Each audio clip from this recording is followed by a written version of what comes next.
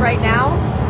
So I'm gonna head outside. It's gonna be really windy and loud, so just be prepared for that. But I'm gonna turn this around. We're getting pretty close to it. And they're gonna take us on one to two loops around the wreckage site so we can get as many angles as possible.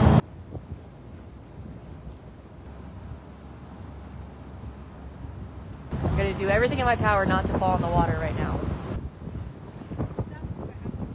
We've seen so many pictures of this. It is so much bigger in person. There's the front of the ship. That's where most of the wreckage is contained to. That is a piece of roadway just sticking out of the water. Oh my gosh.